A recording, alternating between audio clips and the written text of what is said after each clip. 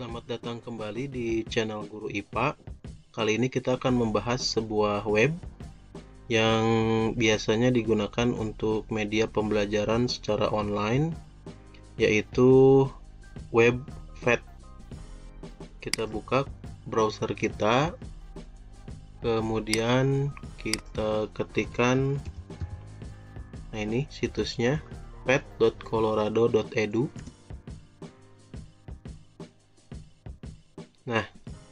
ini eh, tampilan dari webnya. Pet ini adalah sebuah web ya, yang di mana di dalamnya banyak sekali terdapat interaktif simulation.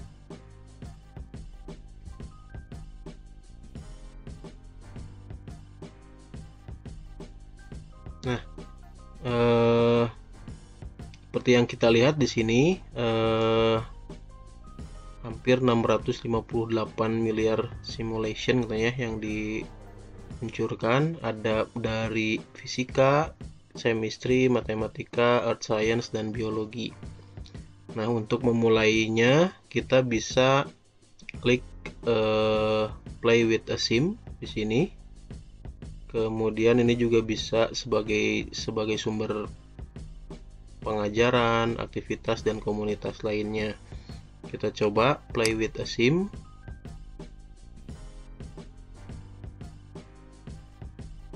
Nah, nanti akan banyak sekali muncul simulasi-simulasi yang bisa kita eh, gunakan untuk media pembelajaran di sekolah, khususnya untuk mata pelajaran matematika atau IPA.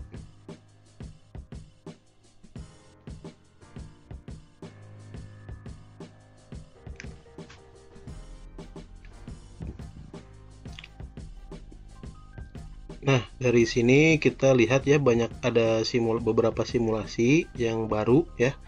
Kita juga bisa melihat semua simulasi dari sini.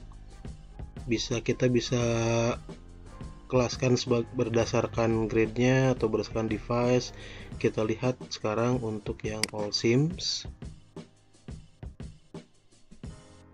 Nah, di sini banyak eh, simulasi-simulasi uh, yang bisa di kita explore ya yang bisa di kita yang bisa disimulasikan. E, kita ambil contoh misalkan karena saya mengajar e, IPA SMP kita cari materi yang sesuai dengan SMP nah ini misalkan ya ada force and motion atau e, gaya dan gerak basic ya. Kita coba klik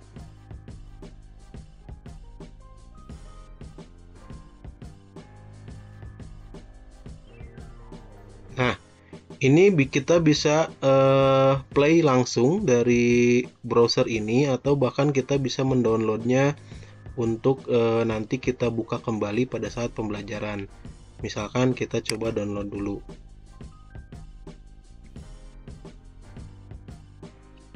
Nah, nanti di sini di bawah akan muncul downloadnya. Nah kita sekarang akan coba secara langsung ya dari browsernya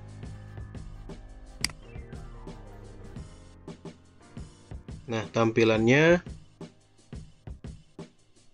kira-kira akan seperti ini. Ini hasil downloadnya sudah selesai, nanti akan kita buka nanti.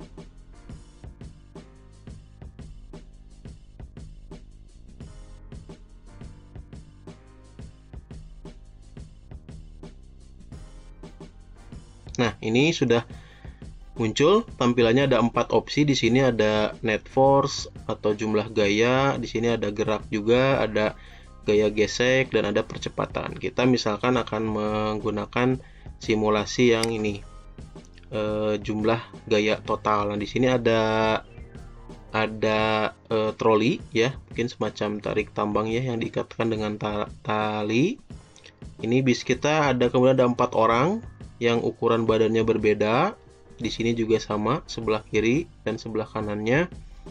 Ini kita bisa interaksi eh, tampilan ini.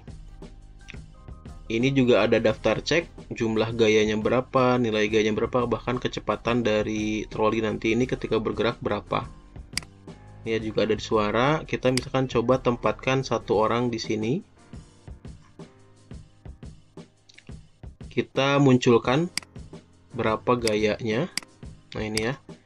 Ini jumlah gayanya.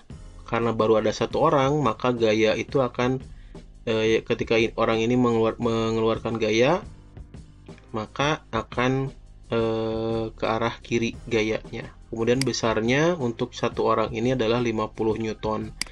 Ketika kita tambahkan lagi satu ini karena sama 50 Newton maka jumlah gayanya akan 0 kalau kita tambahkan misalkan orang yang besar di sini nah ini eh, jumlahnya yang merah ini 200 Newton yang biru ini jumlahnya 50 Newton ke kiri ini ke kanan maka jumlah gayanya menjadi 150 Newton. Kira-kira seperti itu. E, mungkin nanti akan ada pembahasan khusus ya mengenai ini karena di sini kita akan membahas dulu mengenai pet ini. Tapi secara umum begini ya jadi ada tampilan yang bisa kita interaksi yang kita bisa mainkan ya e, ini salah satu contohnya kita e, menggunakan langsung dari webnya. Tuh. Nah sekarang kita akan coba hasil downloadan ini. Kita akan matikan internetnya ya. Apakah bisa dimainkan secara offline apabila sudah di download? Oke sudah mati internetnya. Sekarang kita klik eh, hasil downloadan tadi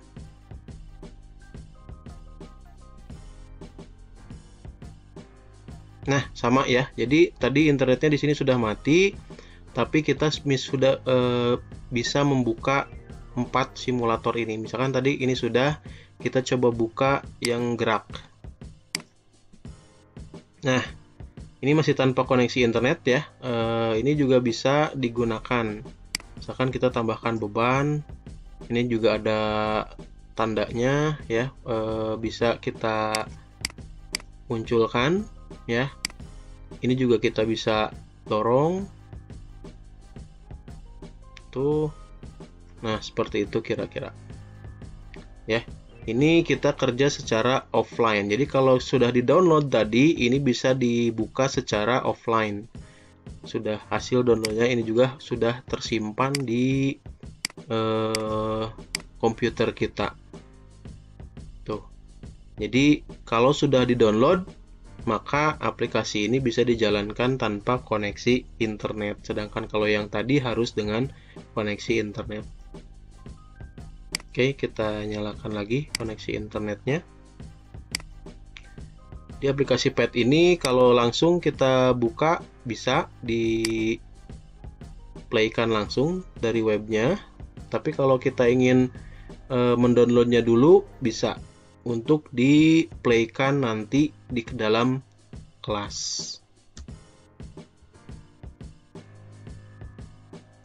Oke, selanjutnya selain berbasis web, sekarang pet itu juga sudah bisa diintegrasikan dengan PowerPoint. Nah, kita akan coba kita close dulu.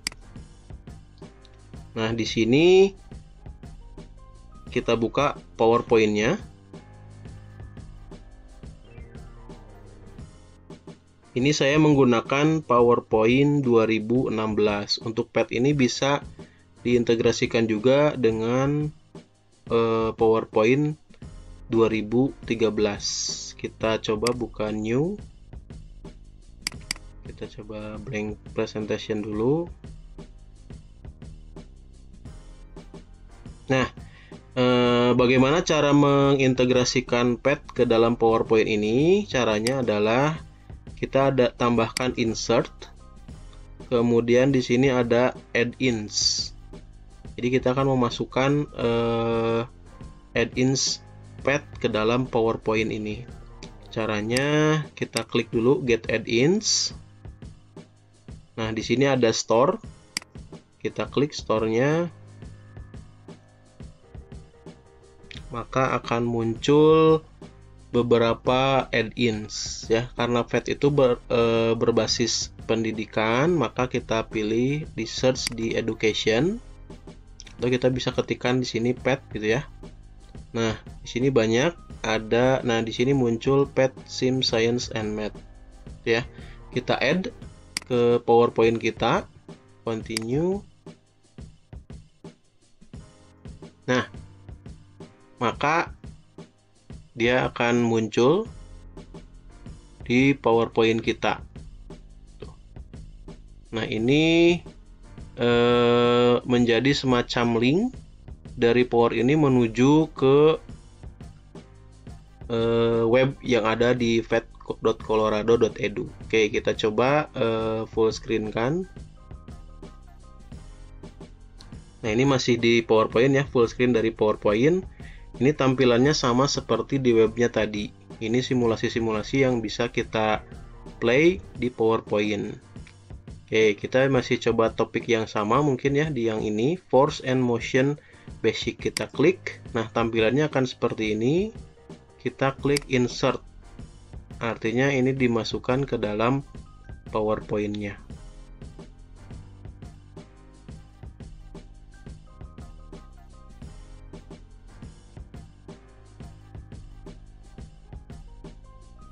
Nah, baik, eh, sudah mulai loading ya, kita tunggu.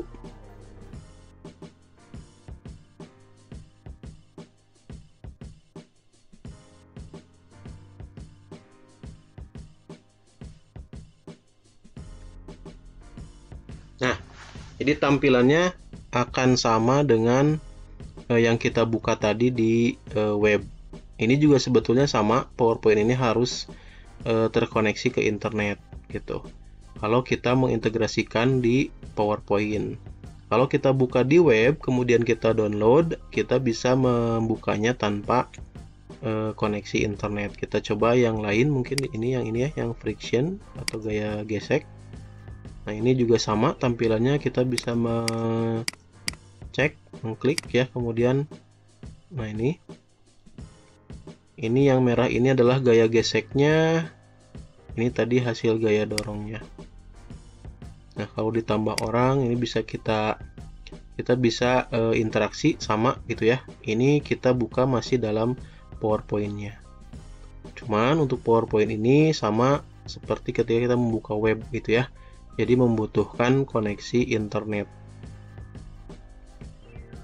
Ini bisa kita jadikan media pembelajaran di kelas jika eh, mungkin di sekolah alat-alat lab kita masih kekurangan alat atau bahan ya. Kemudian eh, kita juga bisa mencari misalkan eh, yang tidak mungkin dilakukan di sekolah gitu. Contohnya kalau tidak salah di sini ada menghitung tekanan eh, air di, di kedalaman tertentu gitu ya uh, itu kan tidak susah ya ketika kita ingin mencari tahu bagaimana menghitung kedalaman tekanan di kedalaman tertentu.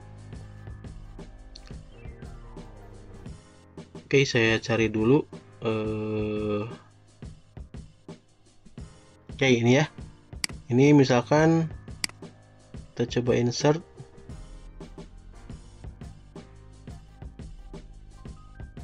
Nah, ini uh, kita bisa menghitung kita tambahkan uh, kita ini ya ini kan ada kedalaman 1 meter 2 meter 3 meter mungkin untuk usia sekolah anak SMP ini kita tidak memungkinkan untuk menghitung kedalaman di 3 meter gitu ya Nah ini aplikasi ini bisa kita manfaatkan untuk uh, media pembelajaran di sekolah. Ini ada alat ukurnya, berapa tekanan di sini gitu ya. Ini bisa kita interaksikan juga kalau kedalamannya 3 meter gitu ya.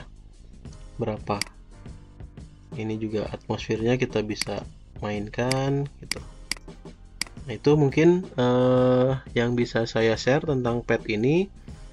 Jadi bisa dimanfaatkan sebagai media pembelajaran yang menarik eh, bagi siswa.